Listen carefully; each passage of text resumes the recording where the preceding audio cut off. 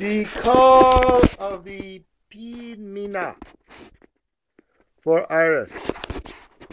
The Pied Myna is pictured over there. The Latin name of the Pied Myna is Sturnus contra. The Hindi name is a black mina.